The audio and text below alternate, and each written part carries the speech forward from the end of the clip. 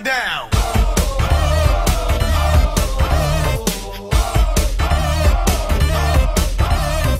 Hi, I'm Alexis Goldstein here for Channel 98 and We Act Radio, and today we're going to be talking about the proposed $13 billion settlement by JP Morgan Chase with the Department of Justice.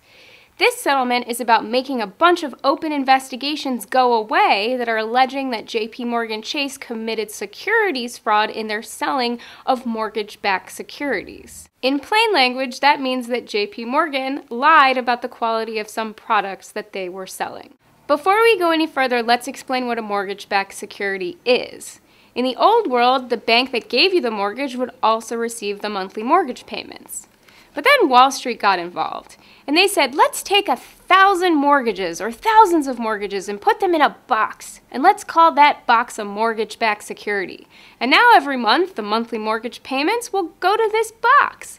Investors can then buy chunks of that box, and they will receive the monthly payments from the homeowners. These are the securities that JP Morgan Chase is in trouble for misrepresenting and making fraudulent statements about. $13 billion may sound like a lot of money, but it's not when you look into how many investigations will be closed after this settlement. They include the Federal Housing and Finance Agency's lawsuit against JP Morgan for selling them $33 billion of crappy mortgage backed securities.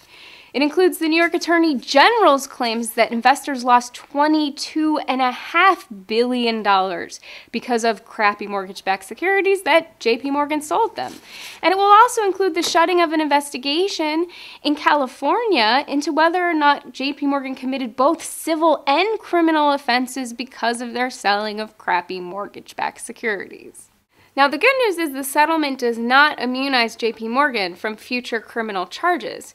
But you should know that Jamie Dimon, the CEO of JP Morgan, has been getting really cozy with Attorney General Eric Holder. He's been having personal phone calls with Holder and staff at the Justice Department since as early as July, negotiating his own settlement. That's like a child negotiating with their parent over what their punishment should be for burning down the house and crashing the family car.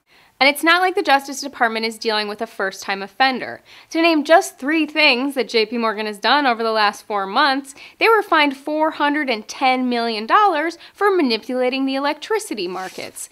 Then they were charged 309 million for illegal credit card practices. And as recently as October, they were fined $100 million for their manipulation of the credit derivatives market in the London whale case.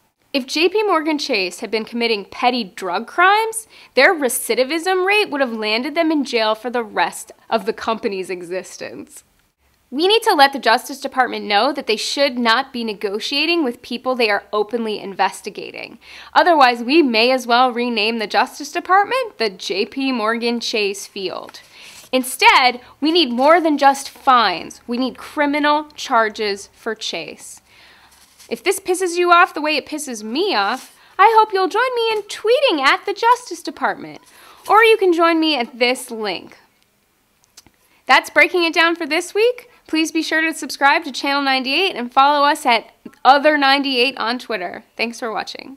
Break it down.